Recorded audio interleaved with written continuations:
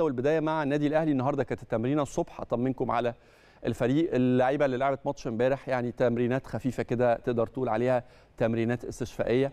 قبل التمرين على طول كان في جلسة لكابتن سامي قمصان والكابتن سيد عبد الحفيظ مع اللعيبة.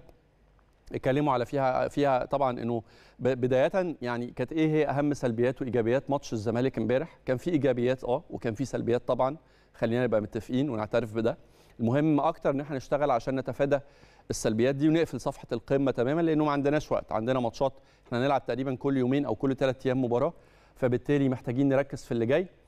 ومهم جدا جدا بيتهيألي يعني إنه اللعيبة الكبيرة في المرحلة دي محتاجة يكون ليها دور كبير مع الفريق ومع الجهاز الفني. أعتقد وليد سليمان عمرو السولية محمد شناوي رامي ربيعة كل دول ليهم دور مهم جدا مع الفريق الفترة اللي جاية.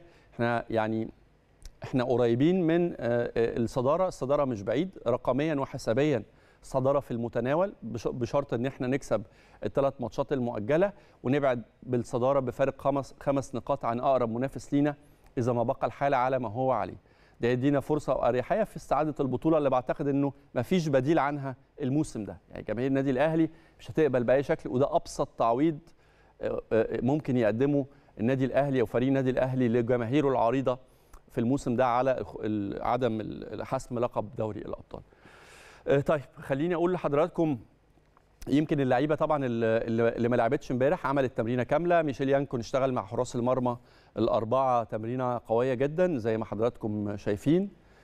شناوي وعلي لطفي ومصطفى شوبير ومصطفى مخلوف